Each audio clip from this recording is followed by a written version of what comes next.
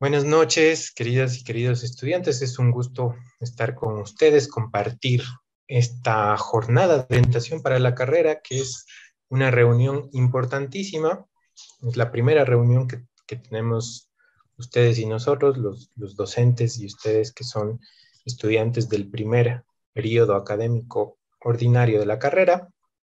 Así que siempre es un gusto enorme pues verlos, eh, verlas, ¿no? Y, compartir este momento que es sobre todo una, guía, una ayuda para que ustedes eh, pues tengan más información sobre la modalidad a distancia, ¿sí? Y sobre la carrera específicamente. Y vamos a centrarnos un poquito también en el primer periodo académico para darles algunas guías que les puedan ayudar, ¿sí? Entonces, pues vamos a empezar con las diapositivas, ¿sí? Vamos a escuchar primero, un, escuchar y ver un video que eh, eh, sirve de bienvenida también para ustedes de parte del rector de nuestra universidad, el doctor Santiago Acosta Aire, y también de la directora de misiones universitarias, ¿sí? Así que vamos a escuchar eso.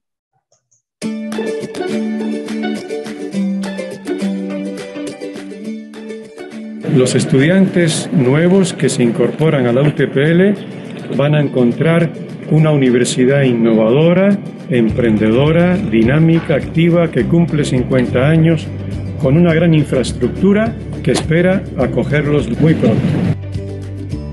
Como verás, la UTPL es un lugar que también te ofrece posibilidades de hacer deporte, cultura.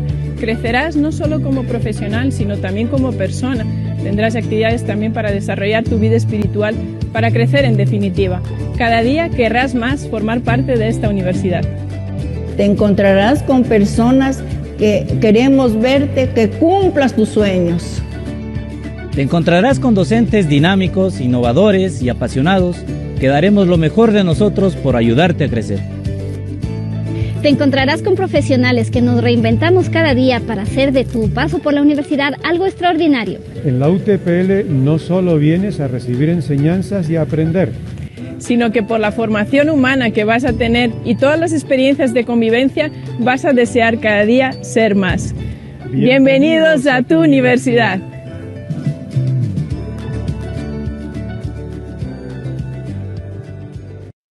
Listo, bueno, ese fue el, video ¿no? del saludo del, rector y la directora de, de, misiones, ¿sí?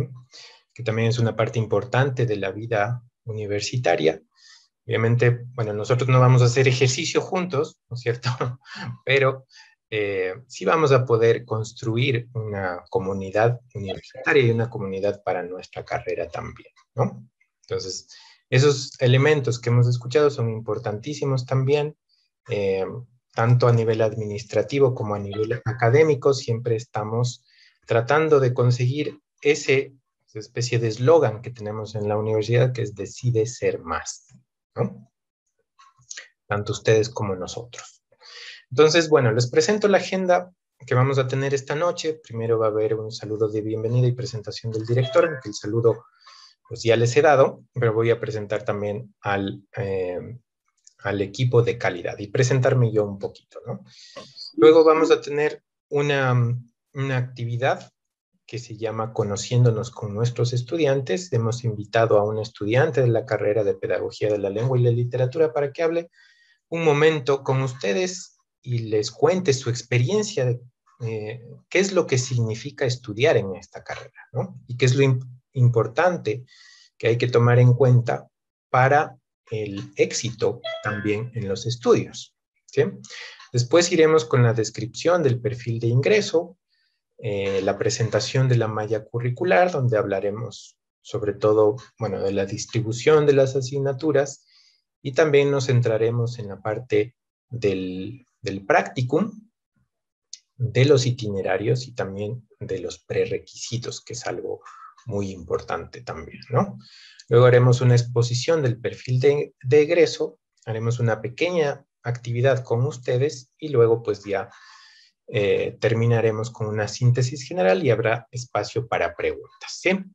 Lo que sí les pido es que eh, dejemos las preguntas para el final, para, eh, digamos, que no se interrumpa este, este proceso informativo, ¿no? Esta, esta comunicación de la información que van a tener ustedes, porque es posible que en el transcurso de nuestras exposiciones, pues se contesten algunas de las preguntas. En todo caso, si no llegamos a contestar esas preguntas, luego al final ya habrá un espacio para preguntas, ¿sí? Bueno, como ustedes saben, pues yo soy Norman González Tamayo, soy el director de la carrera de Pedagogía de la Lengua y la Literatura, ¿sí? Ya estoy al frente de la carrera, bueno, antes como coordinador de la carrera, pues ya voy eh, cerca de cuatro años, cuatro años y un poco más como coordinador y ahora director de la carrera. ¿sí? Yo voy a estar acompañándoles, pues el director de la carrera está a cargo de todos los procesos de, en, pedagogía de la lengua y la literatura, ya sea procesos académicos, procesos en relación con la calidad, Y por eso también es, es, necesario tener un excelente equipo de gestión de la calidad. Y ahora les presento a ese excelente equipo que tenemos, ¿no? Entonces tenemos a Rosa Elena Campoverde Jumbo, ¿sí? Rosa Elena, eh, un saludo. Estimados estudiantes y, bueno, compañeros, buenas noches. Un gusto compartir esta jornada de orientación. Eh, como Norma lo manifiesta, mi nombre es Elena Campoverde y a mi cargo están las asignaturas o la asignatura del práctico. Eh, bueno, es importante que tengan en cuenta que el éxito académico no implica recorrer un camino perfecto. Eh, no es sinónimo de un camino sin fallas. Es un camino donde tenemos que todos los días perseverar.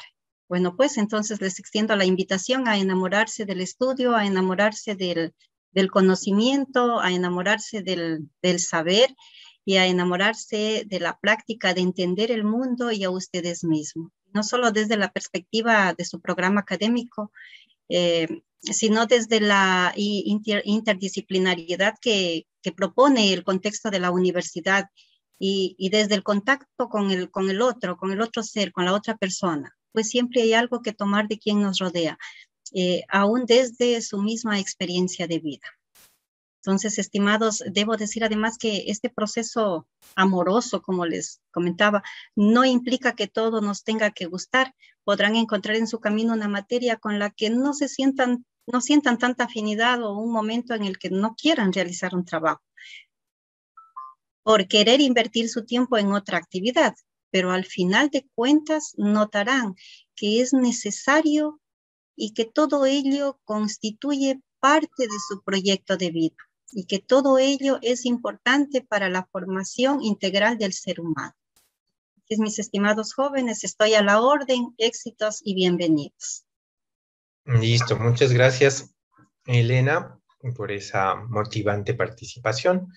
Ahora les voy a presentar a Rosario Requena Vivanco, eh, Rosarito, como con cariño le, decimos también, para que les salude. Buenas noches, bienvenidos a la Universidad Técnica Particular de Loja, específicamente a la titulación de Pedagogía de la Lengua y la Literatura. Como vemos, son dos áreas muy importantes interesantes, ¿no? tener el conocimiento de la lengua que nos ayuda o nos permite comunicarnos de forma afectiva, de forma eh, dinámica y sobre todo de una manera más dialogal. ¿no?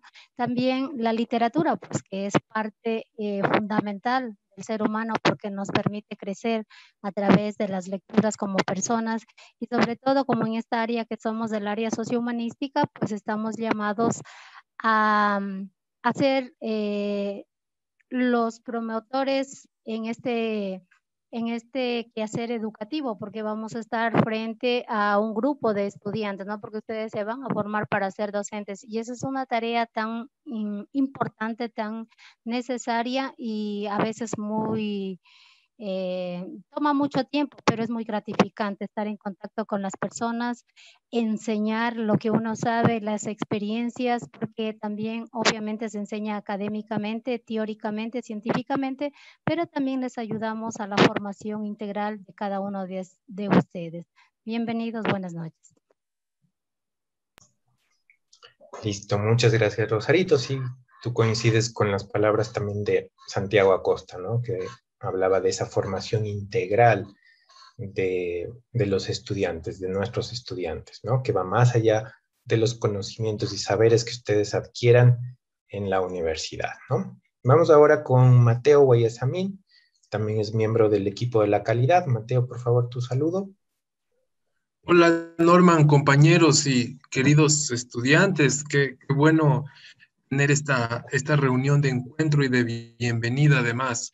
Pues eh, reciban ustedes a, esta carrera como, su hogar, como eh, la, profesión además de, de, su vida. Entonces, sea un buen momento, que disfruten su aprendizaje y nosotros los, docentes estamos aquí para acompañarles, para guiarles y para transmitirles lo mejor de nosotros.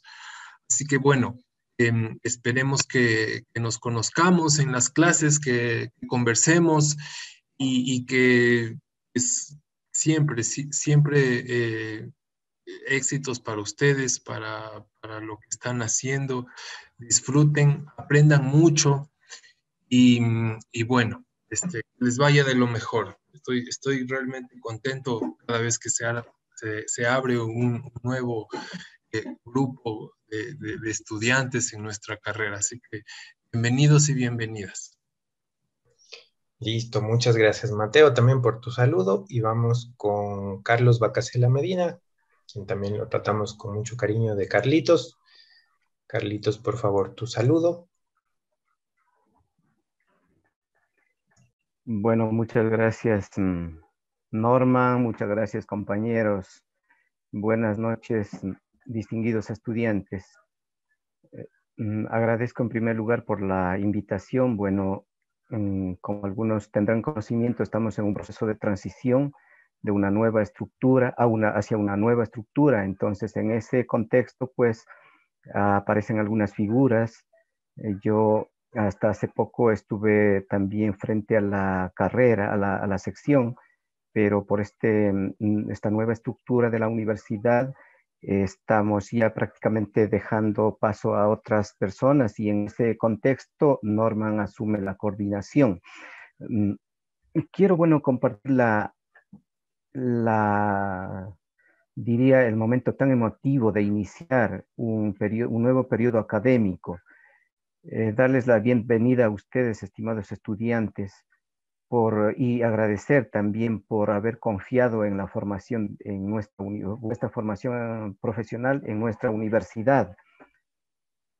Eh, mm, pienso que mm, ustedes al matricularse en la carrera de Pedagogía de la Lengua y la Literatura hicieron una excelente elección y esa excelente elección es de personas inteligentes.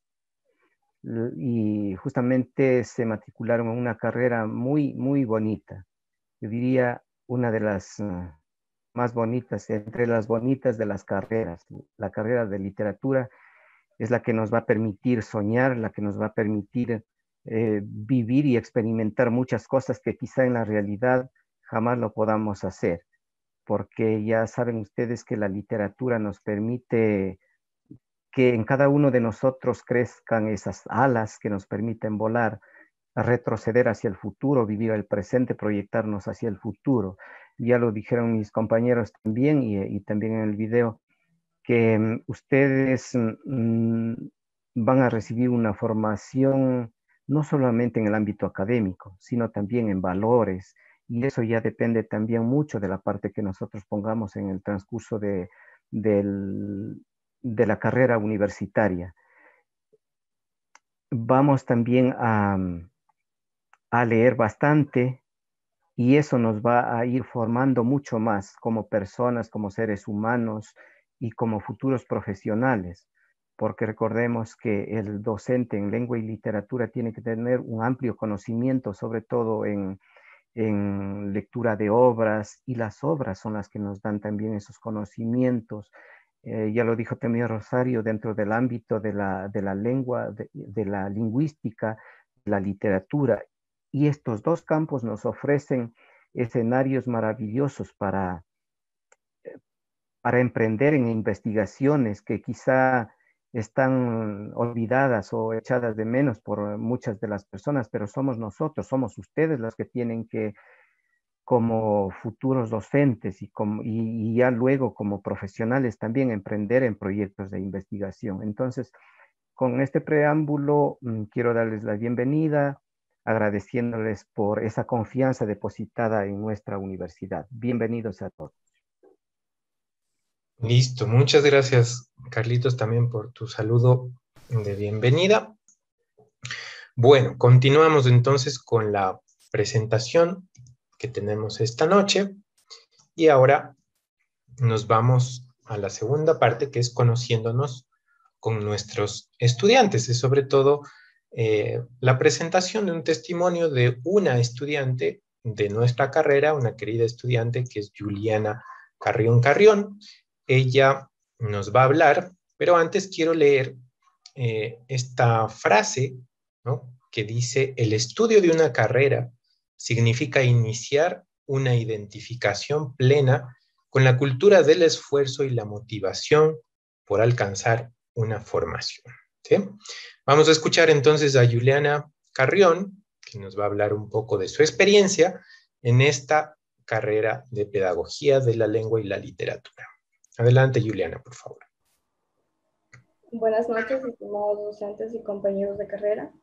Mi nombre es Juliana Casleón, soy estudiante de la carrera de Pedagogía de la Lengua y la Literatura y actualmente estoy cursando el sexto ciclo de la misma.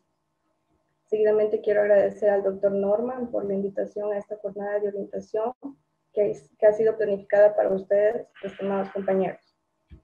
Mi intervención tiene la finalidad de compartirles algunas de mis experiencias durante el primer ciclo, ya que de forma general se podría decir que al ser el punto de partida siempre será dificultoso porque no tenemos ciertas experiencias con relación a cómo presentar las actividades académicas o cómo nos va a calificar y cosas así, pero el consejo más importante es que no se rindan a la primera, con esto quiero decir que no se estresen pensando en las cosas futuras, sino más bien se concentren en las actividades que deben desarrollar día a día.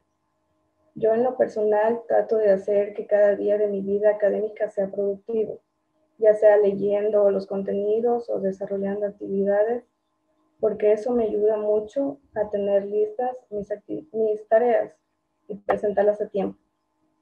Las sugerencias que les puedo brindar desde mi experiencia como estudiante son que se, se organicen en las actividades de su vida laboral, familiar y académica, ya que al decidir estudiar en la modalidad a distancia se nos permite trabajar y no alejarnos de nuestros hogares, pero se debe adquirir más responsabilidad académica, porque si ustedes han decidido estudiar, deben enfocarse en ello para obtener al final de cada ciclo excelentes resultados tanto en la adquisición de conocimientos como la obtención de buenas calificaciones que les permitirán ir avanzando ciclo tras ciclo. Con referencia a lo académico, puedo decir que es muy importante organizar las horas de estudio entre todas las materias para así no descuidar ninguna. En esta parte quiero hacer una pausa para recomendarles encarecidamente que realicen el curso propedéutico ya que ese curso es la base de nuestra vida universitaria, porque ahí se nos enseña cómo manejar todo lo relacionado con la plataforma Canvas, ya que esa es la principal dificultad en el primer ciclo, que no sabemos manipular la plataforma y no sabemos dónde ver los anuncios, las calificaciones, dónde subir las tareas, dónde descargar el plan docente y la guía. Es por ello que deben de realizar el curso que les facilitará conocer muchas herramientas que existen dentro de la plataforma y que en serio son vitales para poder estudiar. Finalmente solo me queda decirles que se esfuercen mucho ya que posteriormente la vida los premiará con excelentes resultados como lo es obtener nuestro título universitario y que los felicito por elegir esta carrera porque más allá de decir que nos formaremos como docentes, aprenderemos a lo largo de la carrera cosas increíbles como por ejemplo que por medio de la lectura de diversas obras literarias nos convertimos en seres con sensibilidad estética. Seremos personas que analicemos la vida desde una perspectiva más profunda y crítica. Listo. Muchas gracias, Juliana, por tu aporte. Ha sido un aporte muy, preciso para, para motivar a nuestros estudiantes a hacer el curso prepedéctico, como tú les habías dicho, donde van a aprender un poco cómo se maneja la modalidad a distancia en la UTPL y también pues todas esas herramientas que tiene el, entorno virtual de aprendizaje con el que van a poder eh, no solamente contactarse con sus profesores, sino también eh, eh, subir todas sus tareas y cumplir con lo planificado en cada una de las asignaturas. ¿no? Gracias por contarnos tu experiencia. Recuerden, por favor, esta, esta frase también que quiero leerles ahora. La universidad te acoge para plantar la semilla de ser más desde la valoración de tus características y logros.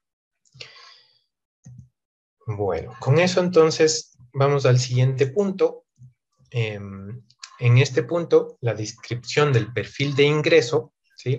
Vamos a invitar a Rosarito Requena para que nos hable sobre y nos explique un poco en qué consiste este perfil de ingreso. Bueno, eh, buenas noches. Seguimos. Entonces, en este caso, la universidad eh, requiere de que usted, al ser un estudiante universitario, pues logre tener un pensamiento riguroso, ¿no? Que usted sepa eh, pensar, porque está en la capacidad, al momento de que usted es un ser humano, obviamente está en capacidad de pensar, pero en esta manera de forma rigurosa, ¿no? También comunicarse efectivamente, como habíamos dicho, necesitamos que ustedes eh, tengan esa capacidad de poder comunicarse, no solo de hablar, ¿no? Sino también que sepan comunicarse de forma efectiva Eh, muchas de las veces creo que los mensajes se distorsionan porque uno no puede eh, comunicarse como uno quisiera, ¿no? O de forma eficaz, eficiente para poderse dar a comprender ante los demás, ¿no? Bueno, razonar numéricamente no es tanto dentro de nuestro perfil, pero es muy importante porque también es necesario hacerlo de esta manera.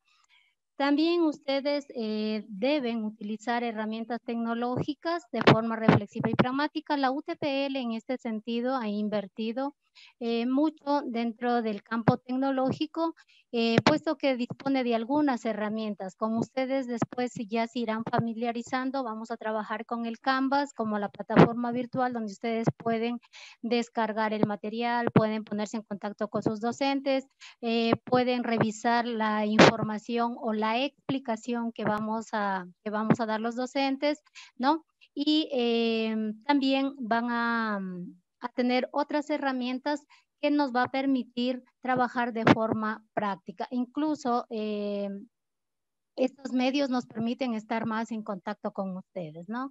También comprender su realidad natural, cómo es la UTPL, cómo es la situación de ustedes. Incluso miren que la universidad pone a disposición de ustedes muchas becas, que es muy importante e interesante para que ustedes puedan continuar sus estudios, ¿no?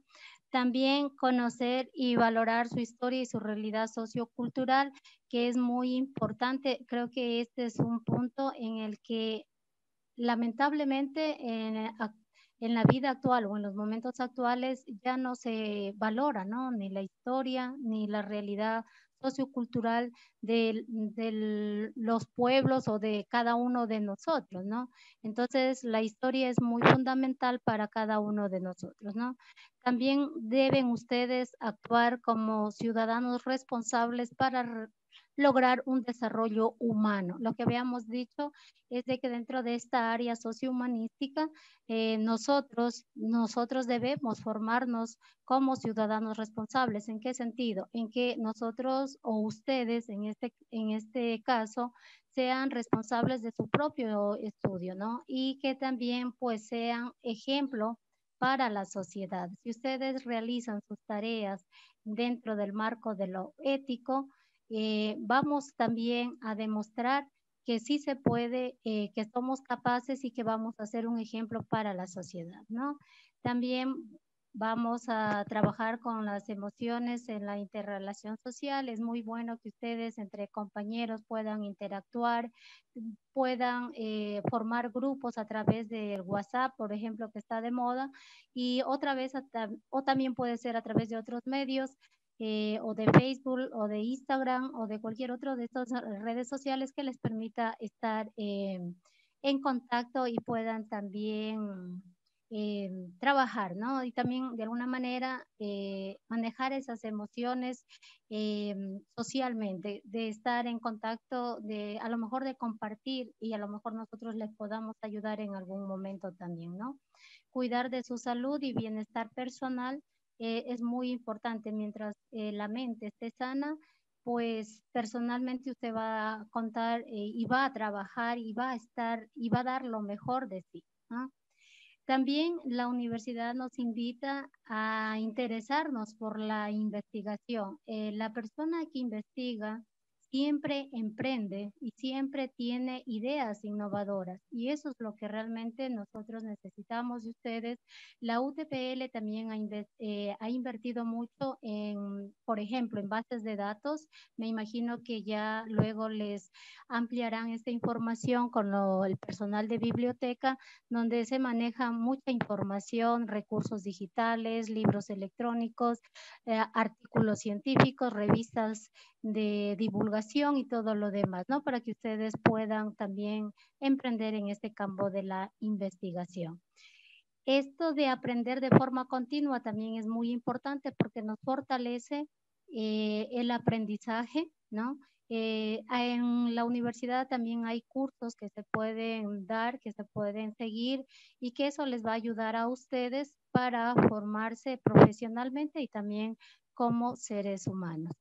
Y para finalizar, hay un aspecto muy importante, siempre hay que ser solidarios y estar implicados socialmente. Como vemos en la universidad, cuando ustedes ya ingresan a este mundo de la universitario, hay que siempre estar implicados en eventos eh, y ser sobre todo solidarios con sus compañeros, trabajar en equipo. Yo creo que el mejor esfuerzo que uno puede hacer es trabajar en equipo. Eso no significa, por ejemplo, que porque trabajo en equipo voy a presentar el mismo trabajo. No, más bien es para discutir ideas, para argumentarlas, profundizarlas y que cada uno de nosotros pueda y, aportar y de esa manera nosotros eh, tomemos en cuenta temas que nos puede ayudar a nosotros como, a ustedes en este caso como estudiantes, que eh, luego permitan eh, ser solidarios y que también pues estén dentro de este ámbito ¿sí? Eh, social, puesto que como hemos visto, parece que escuché a Marixa, hay 63 estudiantes, qué, qué bueno, ¿no? Entonces, que entre ustedes también se solidaricen con cualquier situación que se pueda suscitarse. Gracias. Adelante, Norma. Listo, muchas gracias Rosarito por esta explicación del perfil de ingreso. Y ahora vamos a hablar ya de la, la malla curricular que tenemos en nuestra carrera. Y simplemente antes de revisar esta malla, pues quiero que tengamos en cuenta dos, dos aspectos, ¿no? La malla curricular tiene un orden y una lógica y por tanto es muy importante cumplir con ese orden y esa lógica. Tratemos de siempre tomar las asignaturas periodo académico por periodo académico y no saltarnos porque nos podríamos estar saltando eh, pasos importantes ¿no? que, que son necesarios revisar. Bueno, les indico dónde tienen esta información. Esta es la página principal de la universidad. Y si ustedes bajan un poquito, pues ya tenemos aquí todas las carreras que se ofertan en grado, ¿no? Es toda la oferta. Aquí tenemos nuestra carrera de Pedagogía de la Lengua y la Literatura que solo se oferta en la modalidad a distancia. ¿sí? Entonces, em, vamos a revisar ahora la malla curricular. Aquí hay información sobre la carrera. Aquí tienen también algunas de nuestras fotografías del todo el personal eh, académico. Está esa foto que no me favorece tanto, pero bueno, así Así salgo yo cuando estoy afuera.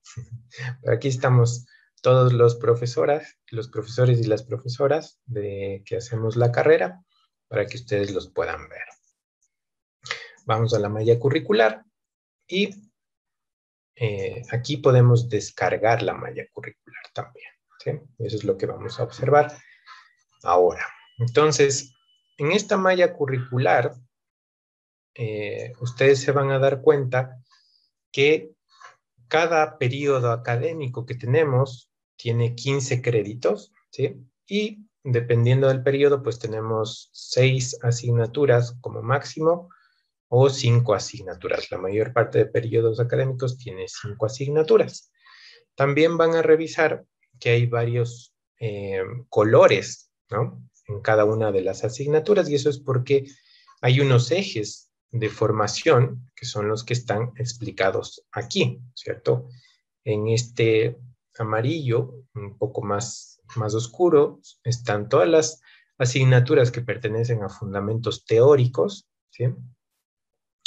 En este morado, lila podríamos decir, está la praxis profesional, ¿sí? que sobre, son tres niveles de los cuales ya vamos a hablar, y dos niveles de, que pertenecen a la unidad de integración curricular. En estos colores un poco más tomates, podríamos decir, está todo, todas las asignaturas que pertenecen al, a la epistemología y metodología de la investigación, y estos colores entre celeste, ¿no? Es eh, todo lo que pertenece al eje de integración de saberes, contextos y culturas. Y los grises que vemos acá es de comunicación y lenguajes. Todos estos son eh, ejes de formación, ¿cierto? Son distintos saberes en los que agrupamos estas asignaturas y también se darán cuenta que en la parte izquierda tenemos unos colores también, ¿no? Está la unidad básica, que es sobre todo una unidad que les da una formación general, eh, tanto de asignaturas que se ofertan a toda la universidad como asignaturas propias de nuestra carrera. Luego viene la unidad profesional que ya tiene como objetivo pues, eh, tratar de darles asignaturas, ofertar asignaturas que ya tengan en cuenta ese perfil de egreso o el, el, campo profesional en el que ustedes van a actuar después, ¿no? Y finalmente tenemos la unidad de integración curricular, que solo tenemos dos asignaturas en esa unidad de integración curricular, son estas dos que están pintadas de verde aquí. Practicum 4.1, trabajo de titulación, y Practicum 4.2, trabajo de titulación. También vemos estos, eh, estas líneas punteadas aquí, ¿no? Em, que nos muestran los itinerarios. Esos itinerarios ya se ven al final de la carrera, ya les vamos a explicar en qué consisten también, ¿no? Entonces, la malla curricular ha sido pensada sobre todo para darles una fuerte formación tanto en la parte pedagógica, ¿sí? Como en la parte de lengua y literatura, que son los dos ejes de nuestra carrera. La malla curricular tiene también unos prerequisitos. Em, ya vamos a hablar también del nivel de inglés que ustedes necesitan, ¿sí? que también es un requisito de, de, graduación, pero no se encuentra dentro de la malla curricular. Eso ustedes lo tienen que hacer por su cuenta y tienen que eh, demostrar suficiencia en el manejo de una segunda lengua en el nivel B1. Obviamente la lengua que más se utiliza es el inglés tenemos muchas, muchas ofertas de inglés también, pero hay otros otras, eh, otras lenguas que mm, también se pueden presentar para demostrar esa suficiencia.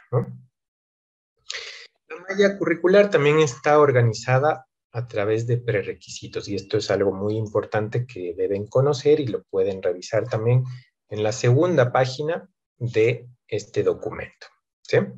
Entonces, obviamente como ustedes están en el primer periodo académico, no tienen ningún prerequisito todavía, ¿no? porque es imposible tener uno em, en este primer periodo. ¿no?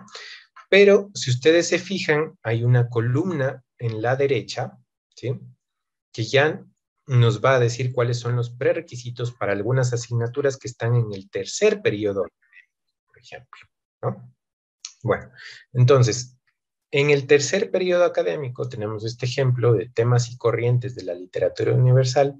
Ustedes no van a poder matricularse en esta asignatura si antes no han aprobado corrientes contemporáneas de la teoría y crítica literarias. Lo mismo sucede en ese mismo periodo académico con morfología y sintaxis.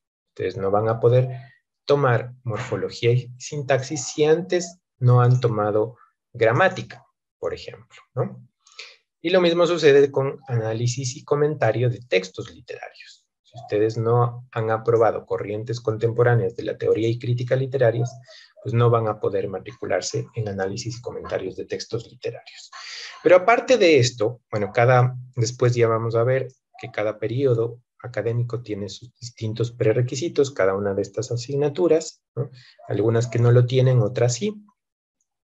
Pero esto no es solamente una cuestión de poder matricularse o no, sino que son justamente esos pasos que hay que cumplir, tener conocimientos previos que les ayuden a cursar de mejor manera esas asignaturas, ¿no? En niveles superiores, obviamente. Entonces, aquí pueden revisar todos los prerequisitos y es necesario que ustedes eh, tengan en cuenta eso. ¿sí? En el primer periodo académico, ustedes están cursando estas asignaturas que están aquí, que podemos ver aquí. Son Filosofía e Historia de la Educación, Política Pública y Marco Legal en la Educación, Introducción a la Investigación, Hitos y Procesos de la Historia Ecuatoriana, Humanismo, Universidad y Cultura y Lectura y Redacción de Textos Académicos. Entonces, eh, es importante que aprobemos todas estas asignaturas, por ejemplo, hitos y procesos de la historia ecuatoriana, es un prerequisito para poder tomar luego literatura ecuatoriana, ¿no? Entonces es necesario aprobar esta, esta asignatura y todas las asignaturas. Lo ideal sería aprobar todas las asignaturas, ¿no? Pero aquí tenemos eh, asignaturas que les dan un marco general como filosofía e historia de la educación. Tenemos también ese marco legal, ¿no? En la educación y las políticas públicas. También tenemos esta asignatura que es de introducción a la investigación y que también es prerequisito de eh, por ejemplo, métodos de investigación de la investigación.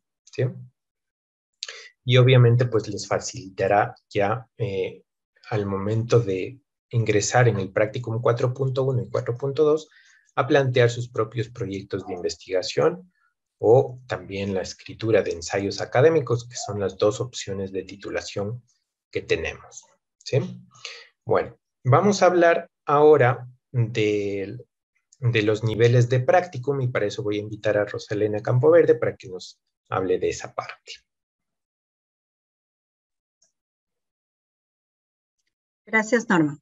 Bien, vamos a conversar eh, eh, algo muy sintético sobre el practicum que se presenta en el aprendizaje de la profesión docente.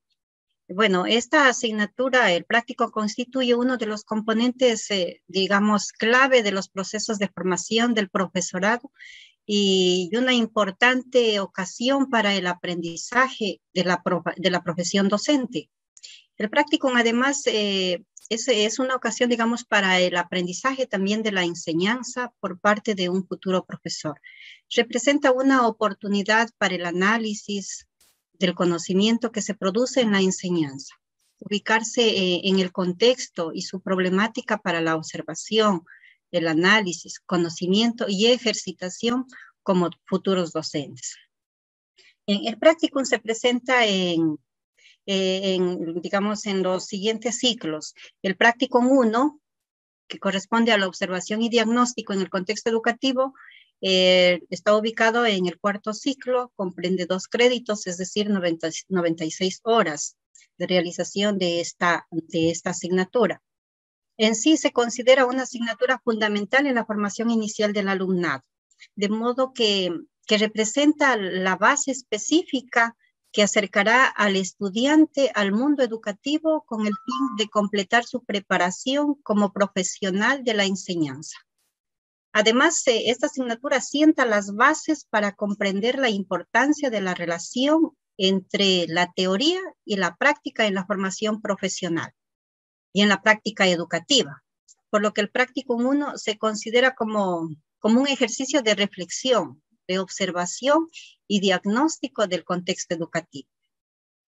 Bien, luego tenemos el practicum 2, eh, que corresponde a la inserción en el contexto eh, y, y, lo encontramos en el quinto ciclo. Asimismo tiene tres créditos y corresponde a 144 horas. En este nivel del práctico, asimismo, es relevante en el proceso de aprendizaje eh, por cuanto permite continuar con la observación y diagnóstico del contexto educativo. Pero en este caso, para analizar cómo se llevan a cabo las gestiones administrativa y, académica, además de cumplir eh, con algunas horas de acompañamiento al docente de lengua y literatura de la institución. Eh, bueno, esta actividad le ayudará a prepararse para planificar, diseñar y poner en práctica sus propias experiencias de aprendizaje en el siguiente nivel del práctico. Y luego tenemos el siguiente practicum, que es el practicum 3, que corresponde al servicio comunitario. Eh, lo tenemos en sexto ciclo, asimismo con dos créditos que corresponden a 96 horas. El propósito de, este práctico es generar, en cambio, aprendizajes a través de situaciones o de ocasiones prácticas de vinculación con la colectividad. Asimismo, el estudiante universitario se involucrará eh, con el contexto educativo en general. E, esta asignatura es fundamental para la formación de todo profesional en ciencias de la educación, eh, por considerarse en sí un eje integrador de saberes y experiencias a través de la implementación de proyectos de vinculación, que tiene como objetivo eh, el desarrollo de las macro destrezas en el área de lengua y literatura. Bien, luego tenemos el práctico 4.1 y el práctico 4.2. El, el, el práctico 4.1 eh, lo encontramos eh, ya en séptimo, en séptimo ciclo. Eh, corresponde a dos créditos, asimismo 96 horas. Aquí ya damos el inicio con lo que es el trabajo de investigación o la elaboración de un ensayo, que son las dos opciones para poder obtener su título profesional.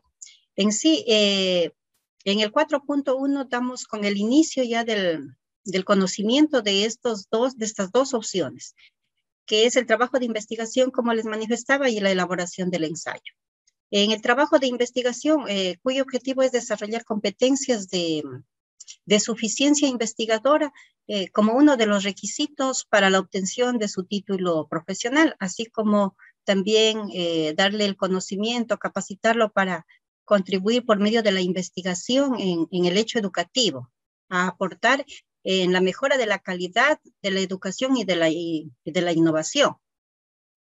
Luego, la otra opción que tienen para poder titularse es la elaboración de un ensayo académico. Bueno, como sabemos, este, elaborar un ensayo en sí, eh, el ensayista no investiga al estilo de las ciencias experimentales. Es más bien desde una actitud experiencial que el autor tiene para interpretar antes que para investigar. Lo que siente es la necesidad profunda de decir algo. Su ser eh, bueno, está compenetrado de ideas, de intuiciones, de sugerencias, de entusiasmo, de ilusiones, de perspectivas y de puntos de vista que el ensayista quiere, con una intención profundamente humanística, comunicarla a sus lectores. Pero claro, para ello igual tiene que leer bastante, profundizar estos temas para poder llegar entonces a esta intención profunda, humanística, y poder eh, de esa manera entonces comunicar a los demás su intención. Bien, estas son las dos, eh, las en el 4.1 y el, en el 4.2 igual, el estudiante continúa con su trabajo que, o por la opción que, que escogió o seleccionó al inicio, continúa en el práctico punto 2 para llegar al final, continúa a concluirla, para al final llegar a, a titularse, defender esta opción por la cual el estudiante optó. Entonces, eso es en cuanto a los prácticos, de una forma así mismo breve, pero a medida de que vamos eh, en el transcurso del tiempo, ciclo a ciclo, vamos pasando, eh, está el docente, está su tutor de la asignatura, quien lo va, quien va profundizando cada una de estas, de estos prácticos y lo va orientando, lo va guiando para que así mismo pueda llegar a culminar eh, de forma gratificante, como una experiencia propiamente de, del ser docente, del querer ya incursionar en la docencia. Cualquiera de estas dos opciones, como les decía, de trabajo de, titulación, son el resultado de una práctica de investigación, de análisis eh, o de intervención profesional. Por tanto, deben ser relevantes y pertinentes. Y bueno, y a la final cumplir con una rúbrica de calificación. Eso es lo que puedo comentar en cuanto, cuanto al práctico. Listo, muy bien. Muchas gracias, Elena, por esa explicación clara del, del practicum. El practicum es algo importantísimo dentro de la universidad también. Da mucha importancia y también tenemos eh, pues un énfasis en esa relación con el servicio comunitario que debe tener también toda práctica eh, preprofesional en este caso, pero también toda práctica profesional, ¿no? Y también se les da oportunidad para la investigación. Ahora vamos a hablar un poco de los itinerarios, ¿sí?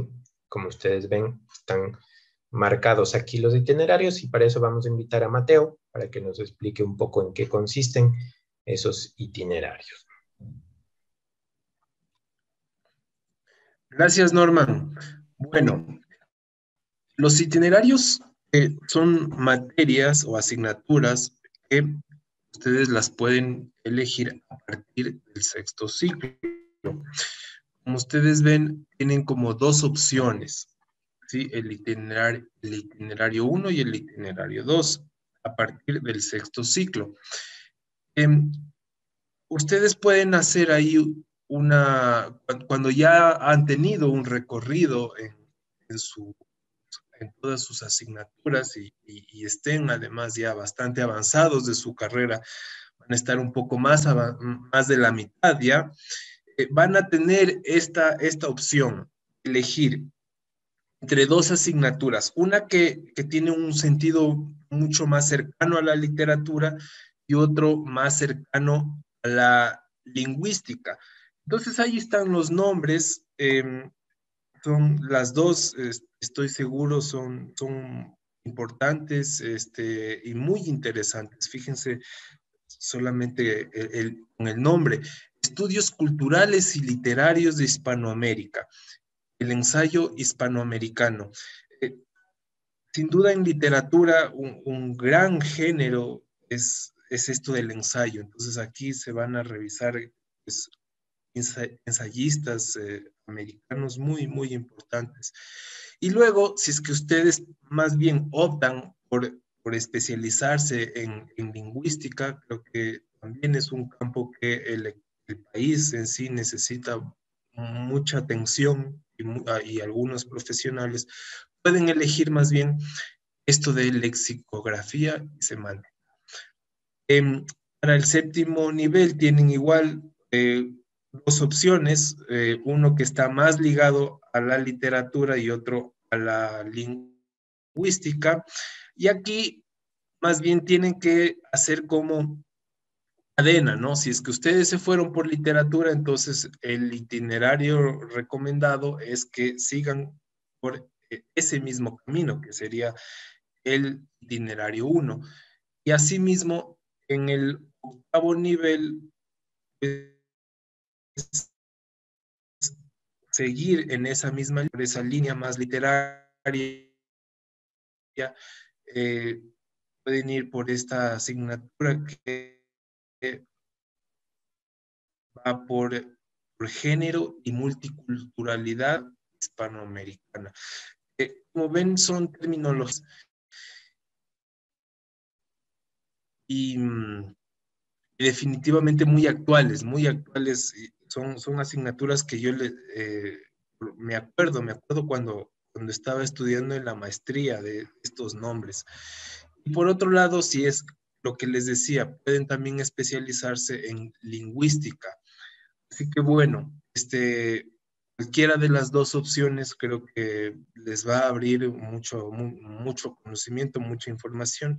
Estoy seguro que van a disfrutar y aprender mucho de, esta, de cualquiera de las dos opciones que ustedes tomen. Pero sí tienen que elegir una de esas, ¿sí? Así que bueno, todavía tienen un camino por recorrer. Cuando lleguen a ese momento, pues ya, ya verán ustedes qué, les, qué les llama más la atención a ustedes, ¿sí?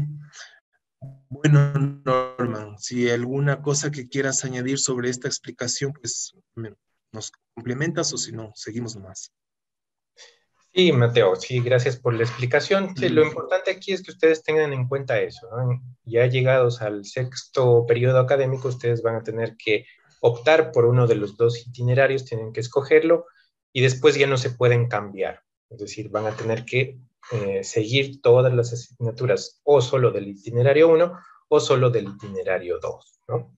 Ya no podrán cambiarse a, la mitad. No es que van a poder el, el itinerario 1 en el séptimo periodo académico y en el octavo tal vez se cambien al otro porque tal vez vieron que algo no, no, les, no les iba bien, entonces ya no se puede cambiar, ¿no? Y además hay una buena noticia también que nos acaban de dar eh, la semana anterior, que ustedes van a poder optar por un certificado luego de cursar eh, estas tres asignaturas que pertenecen a cada uno de los itinerarios, ¿no? Entonces, a través de la herramienta trámites, que ustedes ya la utilizarán, eh, que está dentro de servicios UTPL, pues ustedes podrán optar por ese certificado. Hay tiempo todavía para hablar de esto, ya eh, tendremos otras, otras reuniones también para explicarles con más detalle en qué consiste esto, pero por el momento es importante que tengan en cuenta eso, ¿no? Son dos ejes de especialización, el uno un poco más ligado a la literatura y el otro más con eh, la lengua y la lingüística. Y ahora nos vamos a revisar también otra parte importante que es el requisito de lengua extranjera. El requisito de lengua extranjera, pues ustedes tienen eh, que mm, tener suficiencia en un nivel B1, que está, eh, se ha tomado como referencia el marco común europeo de lenguas, ¿sí? Y este es el nivel al que ustedes van a tener que llegar, el, que deben demostrar, que pueden comunicarse en ese nivel para poder eh, tener la suficiencia en el idioma extranjero. ¿sí? Entonces, em, estamos trabajando bastante con el inglés sobre todo, porque es el idioma, digamos, universal, es la lengua franca universal. Entonces, eh, estamos enfatizando más en el inglés y ustedes, como pueden ver aquí en este cuadro, pues tienen tres opciones. Pueden dar un examen de idoneidad, pueden obtener un certificado internacional, generalmente de eh, esos exámenes que permiten el ingreso a universidades en el extranjero, o también van a poder cursar estos niveles de inglés en caso de que no tengan la idoneidad todavía. Eh, y nosotros recomendamos sobre todo tres tres eh, academias, ¿no? La Berlitz, Pearson o Cambridge. Entonces, cualquiera de esas tres les va a servir. Vamos a ver con un poco de detalle esto, y esto es importante porque es, el inglés no está dentro de su malla curricular, por lo tanto, es algo que ustedes tienen que hacer por su cuenta.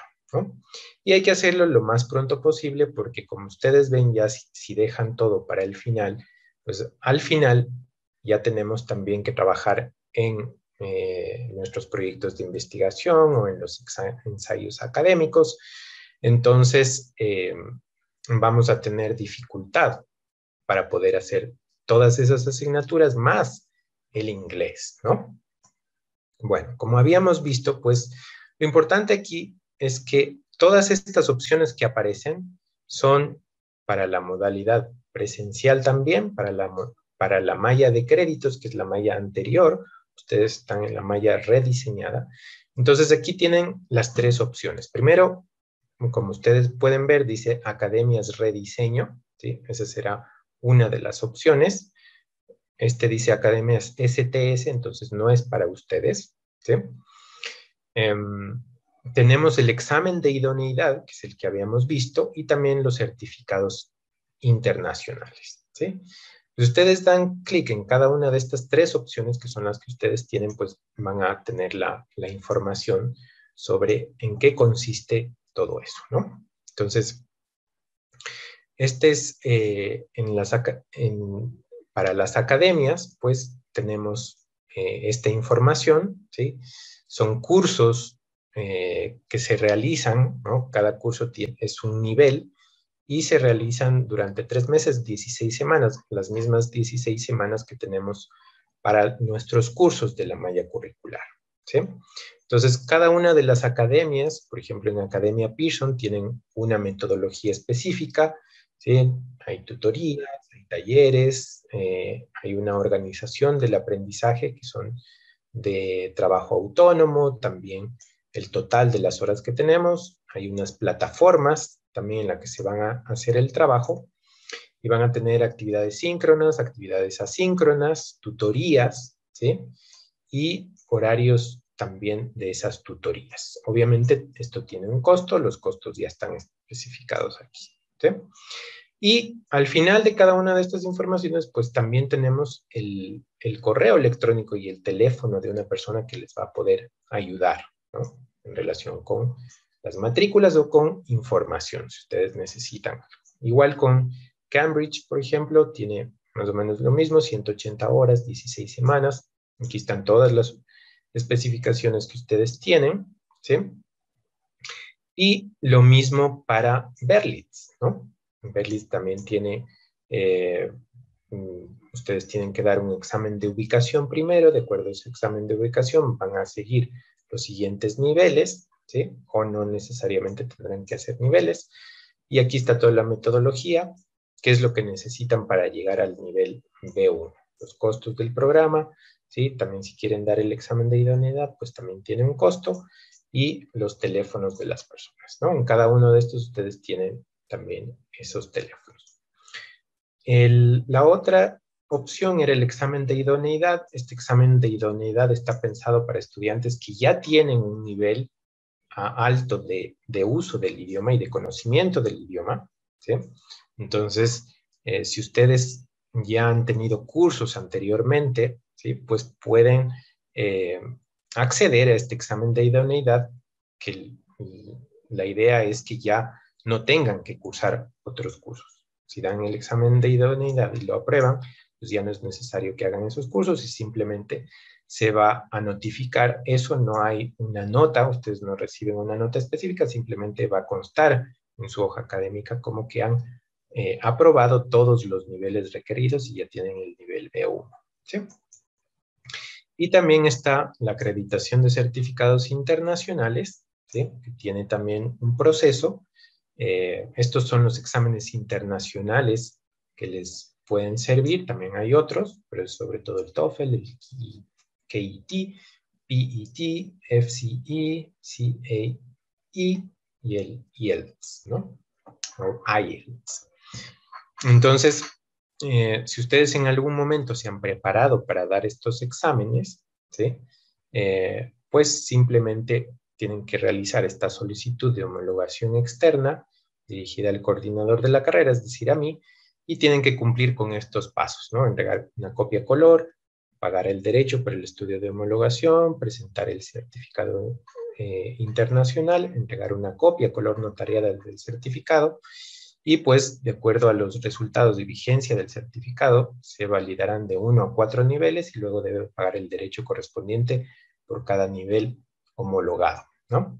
Y estos certificados tengan en cuenta que solo tienen una validez de cuatro años, a excepción de el IETL y el TOEFL, que solo tienen dos años de validez, ¿no? Y también, bueno, otros certificados que ustedes puedan presentar. ¿sí?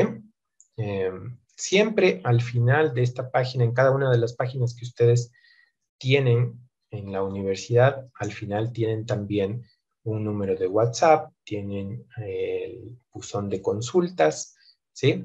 Entonces, esto está eh, dentro del, del, campo de servicios estudiantiles en el campus Loja, ¿no? Entonces, Aquí está la información, es servicios.utpl.edu.es, inglés. ¿sí? Son las tres opciones que ustedes tienen para alcanzar el nivel B1. Bueno, vamos a continuar. Como les había dicho, pues vamos a tener un espacio al final para las preguntas, así que si tienen alguna, por favor, las escriben en el chat para que no se olviden o nos las hacen en la presentación final, ¿no? Vamos ahora entonces a, otra parte que es cómo estudiar en la modalidad abierta y a distancia y para eso vamos a invitar otra vez a Rosarito Requena para que nos hable de esta parte. Gracias, Norma. Creo que me ha tocado la parte más, o la parte fundamental y la más, diríamos, muy buena de cómo estudiar en la MAT. ¿No? Es una interrogante muy bien planteada. ¿Cómo usted como estudiante de la UTPL en modalidad abierta y a distancia tiene que estudiar? Si usted visualiza la pantalla, verá que usted como estudiante es el actor principal de este modelo, ¿no? Para ello, usted va a contar con un entorno virtual de aprendizaje en el cual van a haber también recursos y obviamente un tutor, un tutor que eh, su función va a estar encaminada, eh, no dentro de la labor tutorial, a ofrecer un acompañamiento académico. Nosotros estamos en la UTPL para ustedes acompañarles permanentemente en el sentido de mediar el aprendizaje, ¿no? Ustedes tienen dos horas de tutorías en las cuales pueden acceder y consultar directamente a su profesor cualquier inquietud que tengan referente a la materia o, relacionada con ella, ¿no? Eh, no sé si te va. Continúas ya. Ok, sabemos que el estudiante en modalidad a distancia, eh, yo digo eh, de forma personal, como dirían los colombianos, es muy berraquero porque trabajar y estudiar al mismo tiempo demanda mucho esfuerzo y mucha dedicación, ¿no? Mucha responsabilidad.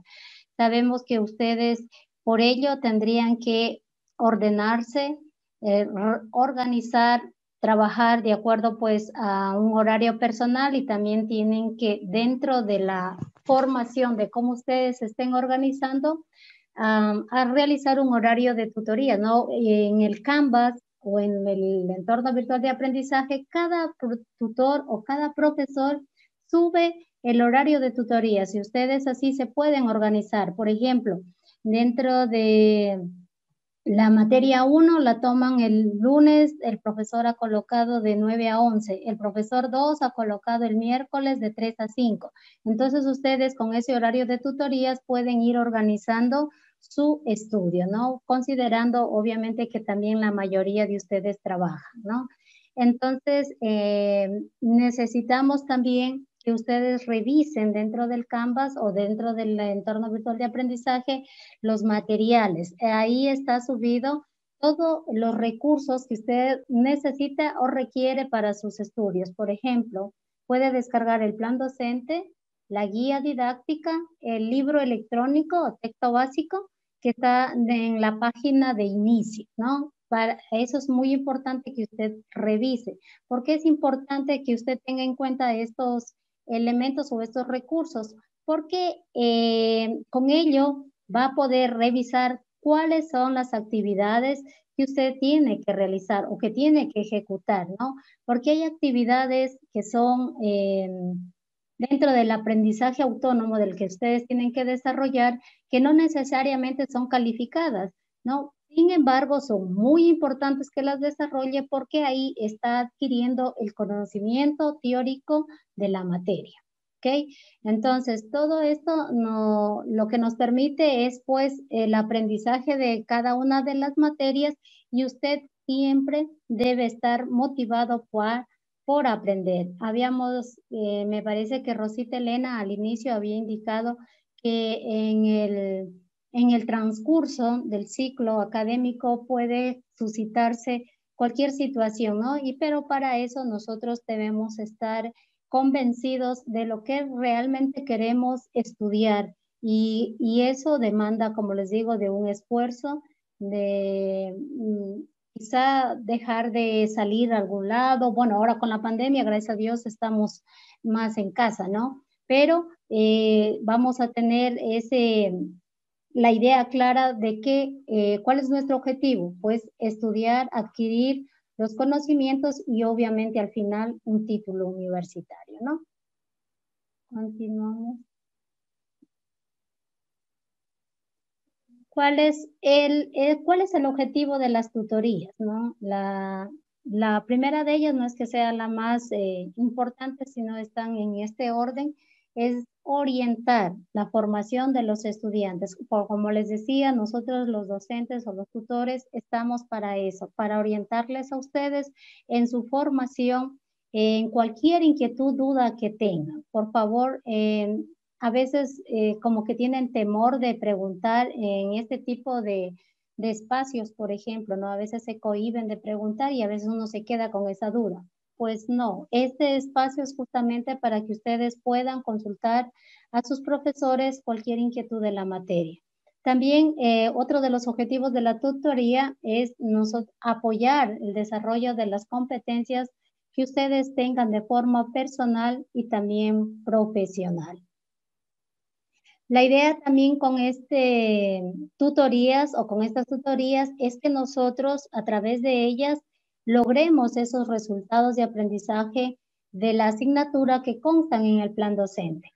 Es muy importante, eh, yo sé que trabaja la mayoría de ustedes, sin embargo, eh, sí sería conveniente en algún momento que puedan asistir y puedan despejar esas dudas y se logre así esos resultados que, se, que constan en, el, en la guía, perdón, en la guía y en, la, y en el plan docente, ¿no?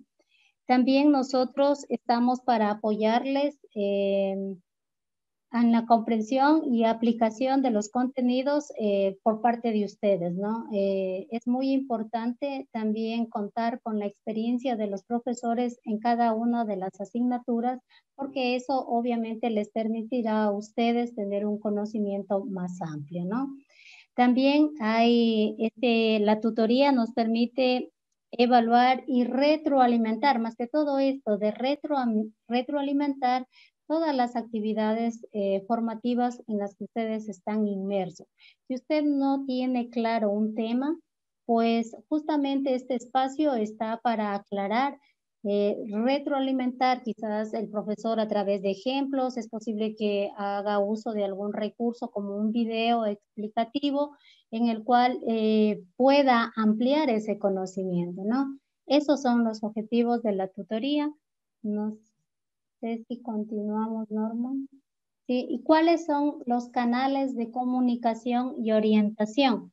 Eh, normalmente dentro del Canvas o del entorno virtual de aprendizaje, usted va a contar con el chat de tutorías y consultas que habíamos explicado, este espacio para que ustedes puedan hacerla, ¿no? También tenemos la mensajería o si usted se ubica en la página de inicio va a encontrar eh, en la parte superior izquierda eh, la bandeja de entrada, ¿no? Ahí a través de ello va a ver la mensajería. Usted se puede poner en contacto directamente con su profesor y también con sus compañeros del grupo de, de la materia, ¿no? Y eh, también los anuncios académicos que son muy importantes, puesto que a través de ellos eh, los docentes colocamos la información adicional a la que ustedes ya tienen en el texto básico y en la guía didáctica, es como un refuerzo del tema que estamos viendo semanalmente. Eh, incluso eh, hemos, la universidad o directamente la la modalidad abierta y a distancia, nos ha solicitado que en cada semana ah, grabemos las clases explicativas del tema que corresponda de acuerdo a la semana y obviamente a lo mejor no todos puedan asistir y a través de un anuncio académico les vamos a compartir este enlace donde ustedes pueden descargar y revisar eh, el tema que se puede explicar, ¿no? Y nuestro compromiso, pues como docentes, será siempre acogerlos en, en todas las dimensiones, escucharlos, estamos presto a ello, a apoyarles, asesorarles y también se puedan evaluar y sobre todo también puedan valorar todo el nosotros valoramos todo el esfuerzo y el trabajo que ustedes hacen por estudiar en nuestra institución, ¿no? Y también, obviamente, como habíamos dicho, formar no solo académicamente, sino también de forma integral. Mm, hasta ahí creo que sería normal la explicación. Gracias. Y gracias, Rosarito, por tu explicación. como tú dijiste, pues es una parte muy importante también saber cómo eh, funciona, cómo se debe estudiar en, la modalidad a distancia, ¿sí? Y también conocer cuál es el rol de los tutores dentro de cada asignatura. Ahora, para culminar esta parte, pues vamos a hablar del perfil de egreso que esperamos que ustedes eh, adquieran. Al final de su carrera. Y para eso le voy a invitar a Carlitos Bacasela para que nos hable de, este, de estos puntos. Muchas gracias, Norman, por, por permitirme dirigir de nuevo. Bien, em, ustedes, estimados estudiantes, han revisado, han observado todas las mm, explicaciones, sobre todo mm, han puesto atención en la malla curricular. De verdad, la malla curricular es un conjunto, si se quiere decir así, de, de de saberes, de asignaturas que les va a formar. Son asignaturas que de verdad llaman la atención y enamoran, porque em, son algunas materias que, que, como alguien dijo, es posible que se encuentren a gusto y con otras no, pero la mayoría están dentro y tienen una conexión dentro del área de la formación de lengua y literatura. En ese contexto se logrará un perfil de egreso, de modo que usted ya al, fin de su trayectoria académica, que se haya convertido en un ente que domina todo ese arsenal de conocimientos que sus profesores han sabido compartir con ustedes. Por eso el, primer punto domina las teorías y modelos educativos de aprendizaje, encaminados sobre todo a, nuestro, a la finalidad de nuestra carrera, a la enseñanza, conocer esos modelos de aprendizaje, cómo nosotros hemos aprendido y de esa manera también compartir ah, con nuestros estudiantes. Sabemos que muchos de ustedes a lo mejor ya están eh, desempeñándose como profesores, como docentes, eh, otros se están formando, pero ¿con qué expectativa? Uno cuando recién ingresa a, una nueva etapa en su formación, como lo están haciendo ustedes, tiene una amplia expectativa de, bueno, cómo, cómo voy a, a realizar, qué es lo que me espera. Existen materias que le van dando a uno la pauta para poder ampliar sus conocimientos dentro de una u otra área esos conocimientos también le abren la, posibilidad de que usted se convierta en, una, en un ente investigador. Esos conocimientos le abren la posibilidad para que utilice la investigación educativa como medio de comprender todo lo que se está dando en el medio socioeducativo, para comprender, para fortalecer, para poder intervenir con proyectos de investigación será un ente que reflexiona sobre su comportamiento y accionar en la práctica pedagógica. Pues mm, será una persona capaz de ver esa diversidad de opciones que tiene nuestra función docente y cómo eso va a impactar en los estudiantes y en la comunidad, ¿verdad? toda esa formación que ustedes han adquirido a lo largo de su, de su carrera les servirá para poner al servicio de no solamente de sus estudiantes, sino a través de sus estudiantes a la comunidad. Tendrá también esa capacidad para relacionar las características de los procesos evolutivos y la necesidad de los sujetos que, que aprenden en su contexto y trayectoria de vida es decir, tendrá la oportunidad a través de una formación tanto teórica como práctica que la reciben y la van a recibir, eh, conocer las diferentes etapas que van, eh, surgiendo en la, en la vida de los estudiantes, ¿no es cierto? Y, y a través de esos procesos de evolución también comprender a nuestros estudiantes, porque debemos ser personas que debemos, que con amplios mm, conocimientos y con esa capacidad de entender las necesidades de nuestros estudiantes, porque no es lo mismo, ¿no es cierto?, tener un estudiante mm, de la ciudad que tiene todos los, mm, todo lo necesario que un estudiante que tiene que caminar para llegar a la escuela dos a tres horas o a veces tendrá que venir sin desayunar cuando estuvimos en, no estuvimos todavía en la pandemia, es lo que se veía a diario, no solamente en, niños de la escuela, sino también en jóvenes eh, de colegios. Teníamos esos casos en, nuestra universidad en modalidad presencial. Entonces, eh, ser comprensibles ante todos esos casos que se den eh, en los sujetos que aprenden, en los sujetos de, del proceso educativo. Como ustedes recibirán amplia formación también en, el ámbito de la metodología, de la pedagogía, de la enseñanza, de la lengua, de la literatura, entonces tendrán amplios conocimientos sobre esos procesos educativos.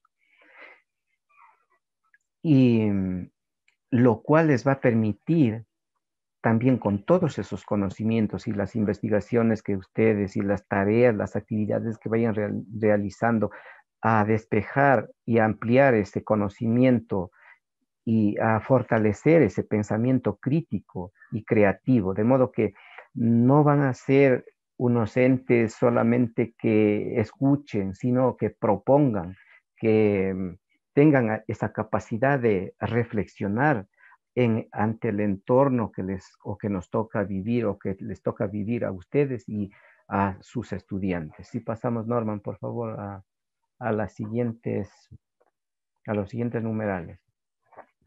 Todo eso viene relacionado con nuestra formación, esta capacidad que nosotros vamos adquiriendo, de modo que sea un ente que identifica el entorno social y político del país, es decir, será un, ente pensante, un ente que se cuestiona, que propone y que busca soluciones, busca esas estrategias para su intervención y mejora, no solamente del campo educativo, sino en todo ámbito que esté a nuestro alcance, desde donde nosotros podemos, desde nuestra formación del ámbito de la lengua y la, literatura, incidir en la transformación de, de las sociedades. Esto me gusta también. Todos son interesantes, pero yo pienso que esto tenemos que que sembrar desde ahora, desde los primeros escalones de nuestra carrera universitaria, la lectura. La lectura es un instrumento, una herramienta fundamental en todo proceso y mucho más en el proceso educativo a nivel universitario. Tenemos que ser grandes lectores, no solamente de las obras literarias, también de, las, de los textos mm, de, conocimiento que nos dan para conocer las asignaturas, ¿no es cierto? En estos textos que, que les entrega la universidad, ahora estos textos digitales, porque mm, eso nos va a permitir abrir más nuestro conocimiento en todos los niveles, en el, en el nivel escolar, en el nivel universitario, una persona que tiene esa capacidad y que orienta el proceso de la lectura en diferentes tipos y contextos en nivel escolar.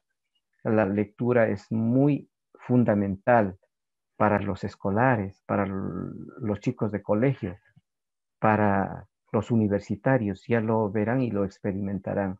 Si no leemos, si no nos cuestionamos en función de, de los textos, en función de la lectura, no vamos a tener los resultados esperados. Por eso de ahí la invitación a leer siempre. También esperamos formar entes con esa capacidad que formule e implemente proyectos de investigación. Lo decía al inicio. Nuestra carrera tiene dos grandes frentes de formación la lengua, la lingüística y la literatura. En estos dos campos existen grandes posibilidades, no solamente de realizar eh, proyectos eh, sencillos, sino quizás hasta de, que ustedes se transformen en grandes investigadores, a la par que sean grandes maestros también, porque existen muchos temas que se están quedando de lado y nadie o, poca gente se preocupa por, por, ese tipo de investigaciones. En la lengua, ¿cuánto tenemos por investigar? ¿Cuántas realizaciones dialectales y dialectos tenemos en sociolectos, tenemos en cada una de nuestras regiones? Y no se diga en la literatura, dentro del ámbito de la literatura, la literatura oral, la literatura popular, hay una riqueza inmensa que se está perdiendo, que está desapareciendo con las mm, distintas generaciones. No dejemos que desaparezcan tanto en la lengua como en la literatura. Entonces, es un ente que formula e implementa proyectos de investigación relacionados con la lengua y la literatura.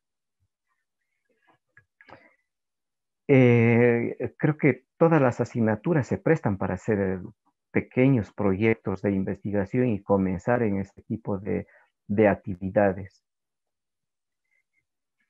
Eh, finalmente, convertirse en un ente que identifica y diagnostica las causas de los problemas.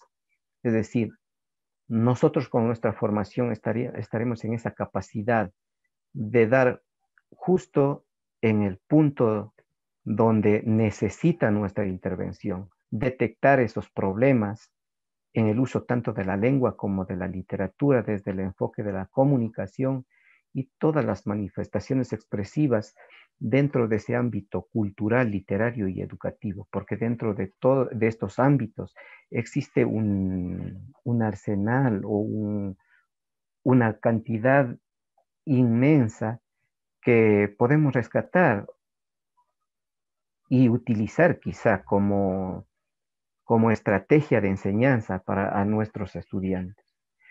Yo creo que la carrera que ustedes eligieron es una de las más acertadas o hicieron la decisión más acertada de su vida al escoger la carrera de lengua y literatura, porque ya lo dijimos, la, la única carrera, si se quiere, o el ámbito que ayuda a una formación íntegra de las personas es la literatura acompañada de, de la lengua. Eso, mis estimados estudiantes, de aquí los esperamos, mm, bueno, estaremos prestos para acompañarlos a, lo largo de cada, de cada uno de los eh, ciclos académicos. Ustedes van a recibir una amplia formación y sólida formación. Estaremos de aquí, no sé, en el transcurso de tres o, cuatro años, no sé cuánto dure la carrera exactamente, eso ya depende de cada uno de nosotros, de ustedes. Nos veremos en el proceso de graduación. Quiero que ustedes digan, ustedes estuvieron cuando recién nos iniciábamos y ahora nos estamos graduando. Gracias por todo, Norman, y gracias, estimados estudiantes. Adelante. Muchas gracias, Carlitos, por esa explicación del perfil de egreso, ¿no? que, es, que esperamos que ustedes adquieran en el transcurso de su carrera para que puedan utilizarlo en su campo profesional después. Bueno, con eso terminamos ya la explicación de todo lo relacionado con la carrera y ahora queremos hacer una actividad con todos ustedes, si es una actividad muy corta, entonces vamos a invitar a Mateo para que dirija esta actividad. Perfecto. Em, ustedes tienen ahí ya las indicaciones. Básicamente, tienen que escribir en, pocas palabras, en una oración, cuál es su compromiso para esta carrera, para sus estudios. ¿Qué sería? ¿Qué, así en, pocas líneas, en, en, una sola palabra. Tómense su tiempo.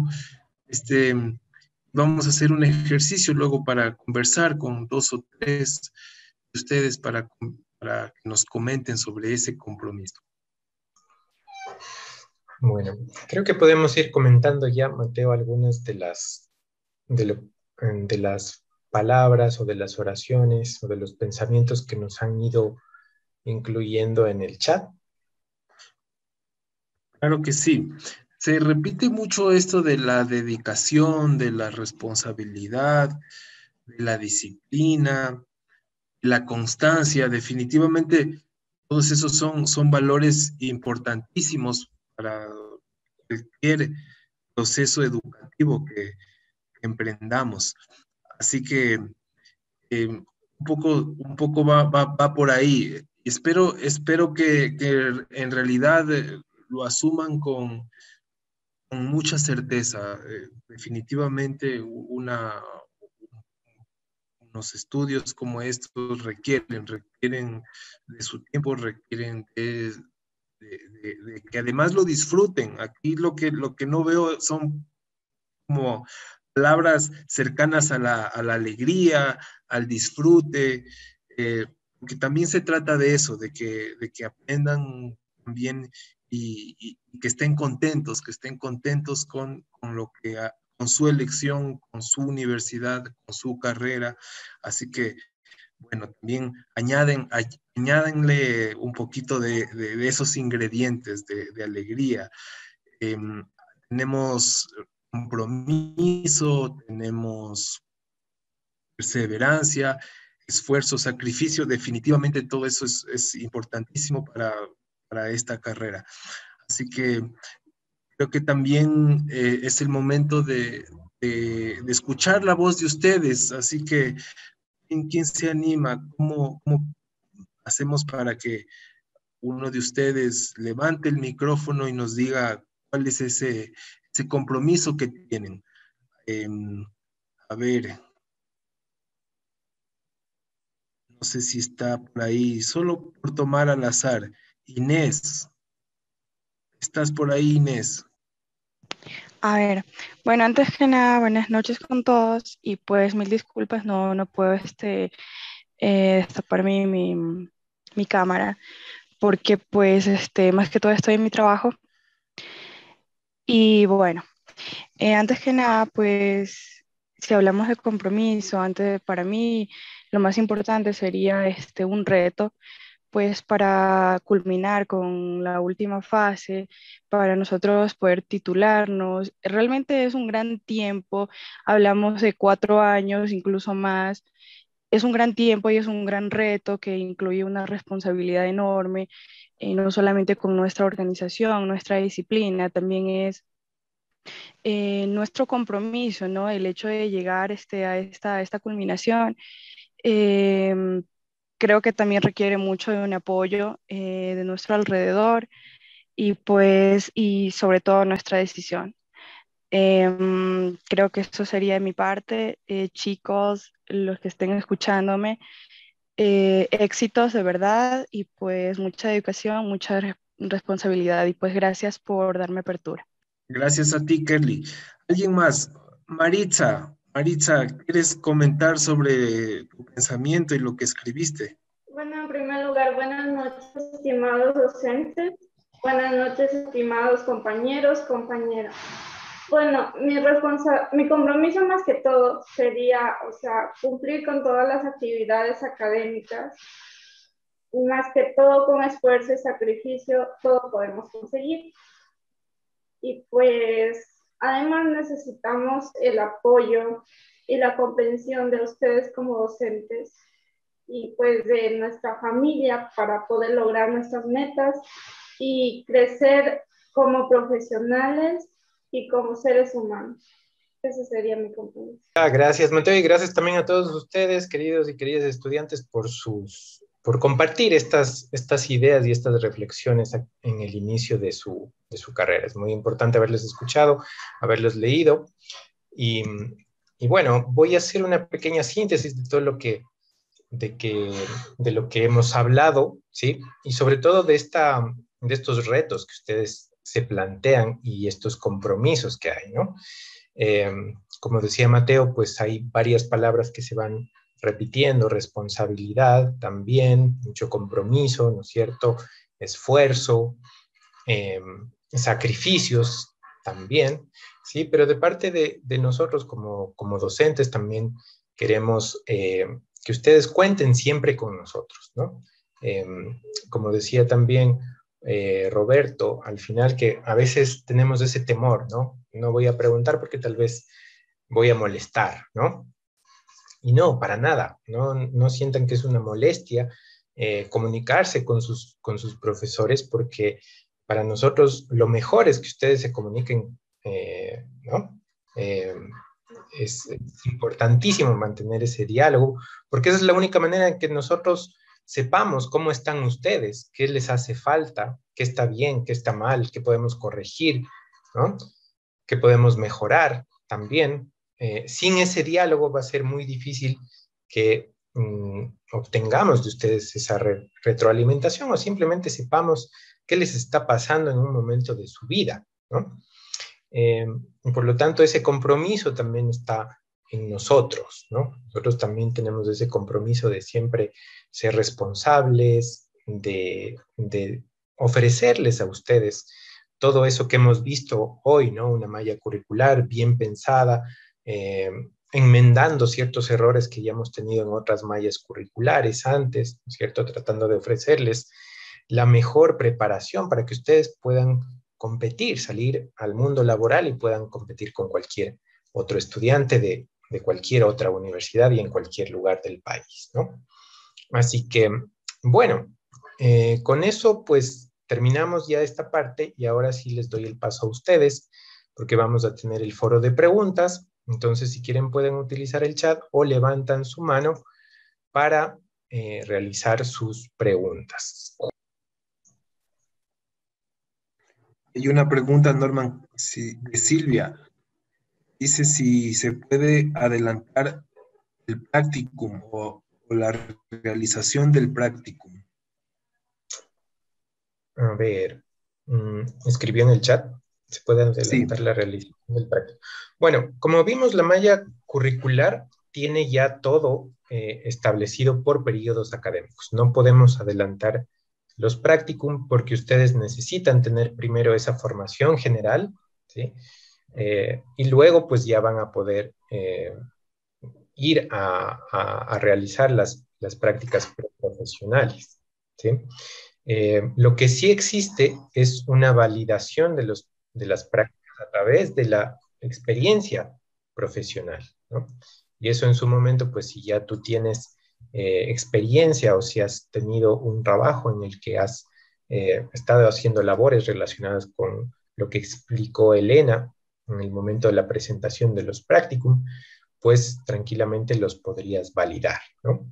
Eh, nosotros tenemos un instructivo y con ese instructivo pues hay que cumplir unos requisitos administrativos y otros académicos, hay que elaborar una memoria en la que se justifique esa experiencia laboral, en que se diga qué actividades hiciste para poder cumplir con las competencias de cada practicum también, eso es importante saber, ¿no?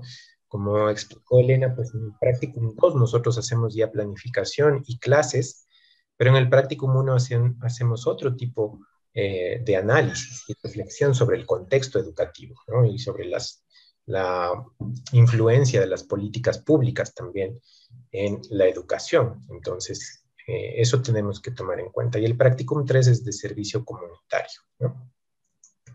Por lo tanto, no, no se puede adelantar el Practicum tienes que hacerlo en los periodos académicos eh, que ya están planteados en la malla curricular y en el caso de que tengas experiencia profesional sí podrías validar, pero dependiendo de los requisitos de cada nivel.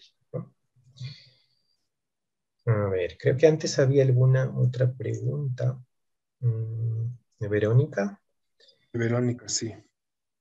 Muy buena noche, yo cuento con la suficiencia de inglés, ya que soy docente de inglés, mi inquietud es sobre mi certificación B2 la certificación que necesitamos es B1. Em, entonces, eh, en el B2 de Cambridge, que no caduca, eso habría que ver con la propia academia. Eh, habría que, revisarlo y bueno, también les, les habíamos, em, habíamos visto cuáles son las maneras de, contacto con la gente que está a cargo del inglés y de dar información sobre el inglés. Así que te puedes comunicar también con cualquiera de esas personas y averiguar si es posible, eh, o sea, qué requisitos se necesitan con, con Cambridge para que puedas eh, presentar esa certificación y si es válida o no. La universidad obviamente tiene que estudiar cada caso para que nosotros podamos eh, ya ingresarlo como que has cumplido el nivel de inglés, ¿no?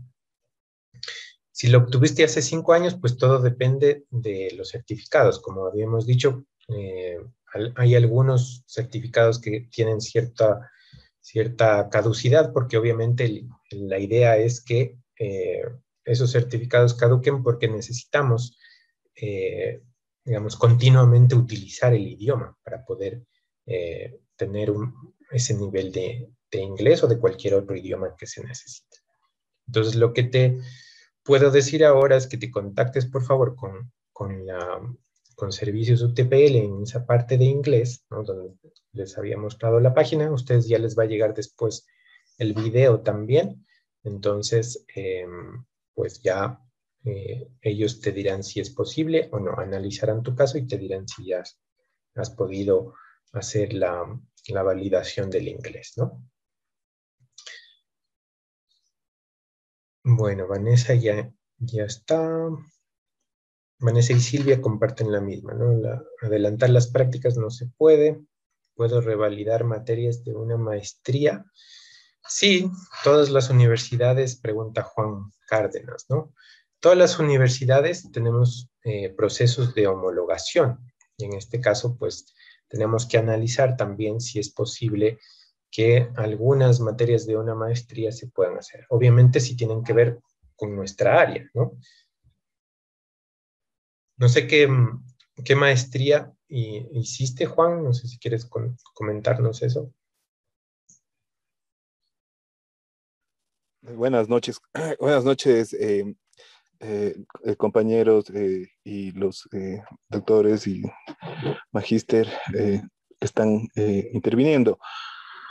La maestría que hice es una maestría en educación y bueno, tiene las, estas materias de investigación uno investigación dos hay algunas materias que veo que, que son el, nombre similar. No sé si es que en este caso puede ser porque es una, es una maestría en, educación y desarrollo del pensamiento. Me imagino que sí hay una relación o, no sé cuál sería la posibilidad de, hacer una convalidación. Muchas gracias. Sí, bueno, siempre hay que presentar una solicitud, ¿no? Dentro de la, eh, tienes ahí algunas herramientas trámites, ¿no? En servicios UTPL. Entonces, mira cuál es el trámite que puedes hacer, asesórate también con tu centro eh, UTPL, el centro donde estás registrado, para que se pueda ingresar ese, esa solicitud y nosotros ya estudiaremos. Tienes que presentar obviamente algunas, em, algunos documentos que avalen el, estudio que has hecho y después nosotros eh, estudiamos y podemos hacer una tabla de homologación para ver qué asignaturas se pueden validar, ¿no? Se pueden homologar con las que ya has cursado. Ok, muchas gracias, muy amable, gracias. Listo, de nada, de nada, Juan. Bueno, Silvia dice con quién me puedo comunicar para que me facilite el instructivo. Imagino que es el de prácticas, ¿no? De validación. Pues conmigo, eh, ya les había puesto mi correo electrónico, cnagonzález2 arroba utpl.edu.es. Ese es mi correo electrónico. Em, cuando les llegue el video, pues ya van a tener también esa información, pero bueno, ya la vieron en una de las diapositivas. Gianna dice, tenía la misma consulta acerca del certificado, estoy en la misma. Sí, es recomendable tener impreso por lo menos todos los planes de los docentes. Em, sí, bueno, ya es, eso es como ustedes prefieran, ¿no? Em, pero obviamente el tener impreso les va a facilitar pues eh, tener todas las indicaciones de cada una de las asignaturas, las fechas en las que se deben entregar las actividades y también pues todas esas estrategias metodológicas que acompañan a cada una de las actividades e igual que las rúbricas de evaluación para que ustedes sepan cómo se les va a evaluar en cada una de las asignaturas y en cada una de las tareas, ¿no? Así que, bueno, eso depende de ustedes. Mm, mm, si ustedes prefieren tener impreso el, plan, pues lo imprimen y si no, lo tienen en una carpeta en línea y así pues ahorramos un poco de papel y, contribuimos al bienestar del planeta. Entonces, asumimos que todo está, ha sido claro y que no tienen más, más, preguntas, dudas o comentarios. En todo caso, como esta es una primera reunión de información y ya vamos a tener otras reuniones también dentro de la carrera con todos los estudiantes, ¿sí? E incluso vamos a tener un aula, un aula tutor institucional con todos ustedes, solamente con los estudiantes de primer, del primer periodo académico para eh, para ponernos en contacto y también ver cómo, cómo están ustedes, ver qué necesitan, si necesitan algo de refuerzo, por ejemplo, o si están, como nos contaba eh, Inés, me parece que era, ¿no? Em, de este problema con el COVID, pues justamente ese espacio será para conocernos un poco más, para saber cómo les está yendo a ustedes en este primer periodo académico, qué es lo que necesitan, cómo les podemos ayudar a solucionar esos problemas de una manera más rápida y directa también. Bueno, y em, para cerrar, pues eh, quiero invitar nuevamente a los profesores que han estado conmigo acompañando, los miembros del grupo de gestión de, la calidad. Entonces vamos con Mateo. Gracias, Norman. Chicos, chicas, buena suerte en, este camino, en esta elección. Recuerden que pues, tenemos la literatura a favor de nosotros y ese, ese debe ser como nuestra guía, nuestro camino, a disfrutar de lo que hacemos y a cuidarnos mucho, ¿sí? Todavía son tiempos em, de mucho resguardo, eh, y así que aprovechemos este, este tiempo que tenemos ahora para prepararnos, para ser mejores, para leer mucho, para disfrutar, disfrutar de, la vida y de eh, la elección que han tomado. Felicidades, buenas noches y nos vemos en las tutorías. Conéctense en serio porque em, de eso se trata. Nosotros estamos aquí para acompañarles, para acompañarlas y, y pues entre todos eh, generar conocimiento, ¿sí? Así que nos vemos en las tutorías. Gracias, Norman. Listo, gracias, Mateo. Vamos entonces con Rosarito, también para tu despedida y palabras finales. Gracias, Norman. Eh, solo animarles y comentarles que siempre vamos a estar disponibles para ayudarles en cualquier eh, circunstancia, en cualquier cuestión que tengan. para eso estamos los docentes eh, que ustedes puedan contar con nuestro apoyo y pues si en el camino se les atraviesa alguna circunstancia, no hay cosa que no, no se pueda superar, ¿no? Ánimo a leer mucho, a investigar y que nosotros lo tengan presente, que nosotros siempre vamos a estar eh, con ustedes en cualquier circunstancia que, que la vida los tenga, ¿no? Y pues creo que en cuatro años como dijo Carlitos, esperemos estar los mismos felicitándolos por su graduación. Gracias, que tengan una buena noche. Listo, muchas gracias a ti también, Rosarito, y vamos con Elena. Bueno, no queda más que felicitarlos por la excelente decisión de ser parte de la Universidad Técnica Particular de Loja, una institución que no solo se destaca por su calidad y excelencia académica, sino por ser un espacio de inclusión, de tolerancia, de respeto, de responsabilidad. Así es que jóvenes, una vez más, bienvenidos. Y bueno, nosotros seremos sus compañeros de, este recorrido académico que tienen ustedes, que han optado por nuestra universidad. Y bueno, chicos, adelante. Gracias, Norma. Gracias también, Elena. Y bueno, quiero invitar, también nos ha estado acompañando en esta reunión Maritza Jaramillo, ella es, está representando al vicerrectorado de modalidad de distancia y Maritza también quiero pedir que unas palabras para nuestros estudiantes en esta primera reunión que tenemos con ellos. Primero agradecerles a ustedes, señores estudiantes, por la confianza depositada en la universidad y obviamente al excelente equipo docente de la carrera.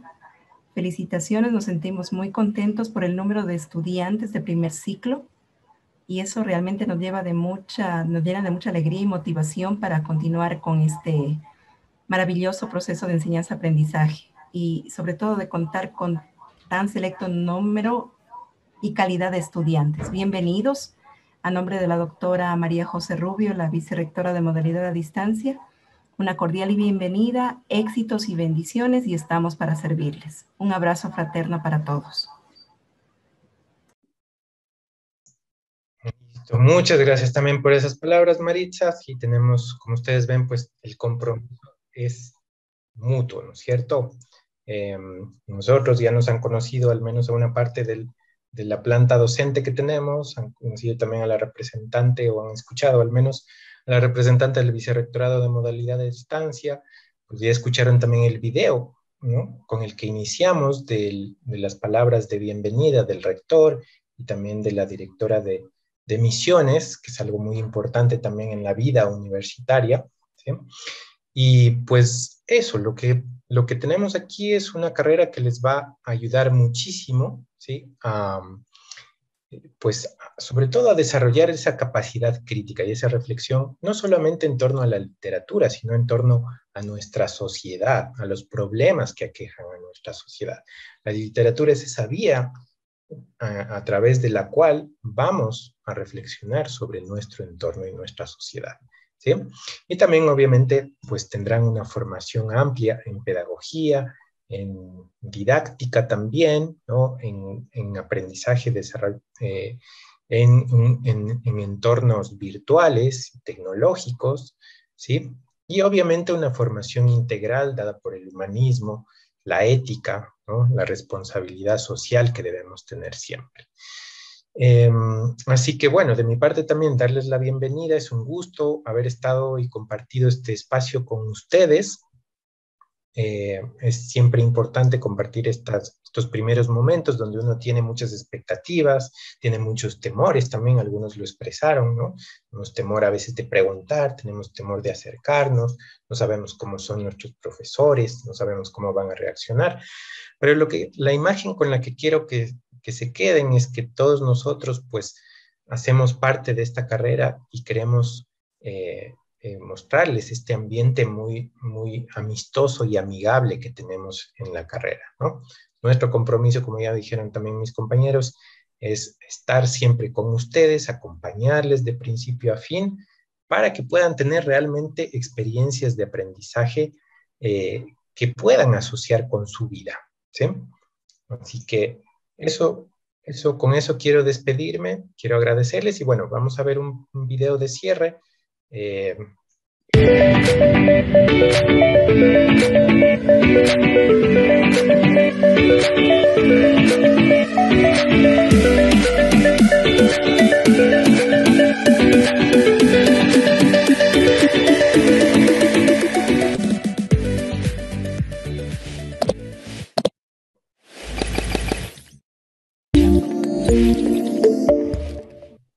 Listo, pues este es nuestro reto. Nuestro reto es ahora, así que adelante, podemos estudiar todos en grandes, nuestro compromiso y el compromiso también de ustedes. Muchas gracias por haber estado en esta jornada y nos vemos pronto con todas las actividades que tenemos planeadas para ustedes eh, en la carrera. Un gusto haber contado con su presencia, un gusto haber compartido este espacio.